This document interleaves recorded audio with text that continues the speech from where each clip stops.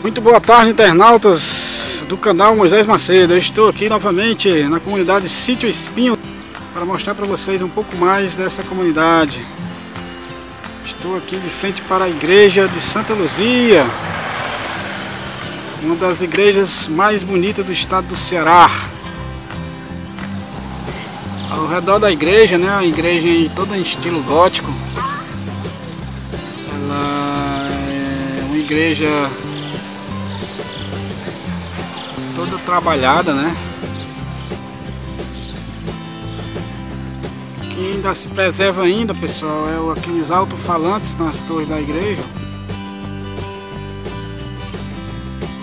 Torre culmina com aqui, recentemente, né?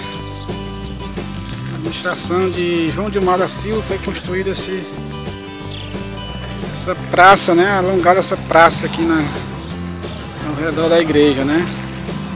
Ali tem um estacionamento. Aqui uma, um palco. E aqui o centro pastoral. Aqui podemos ver toda uma panorâmica da, da praça.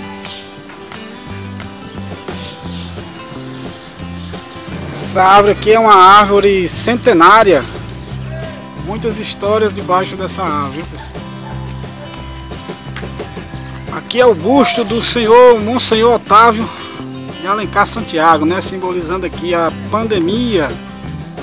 Foi esse senhor aqui que deu início né, à campanha para a construção da igreja da capela de Santa Luzia. Uma capela bonita aqui no sítio Espinho. Aqui é o patamar da igreja. Aqui no patamar dessa igreja é, faziam brincadeiras de criançada brincava aqui de esconde-esconde, pega-pega, de cabra cega, brincavam de, de quadrado. Essa é a famosa Santa Luzia, a Santa dos Dois Olhos.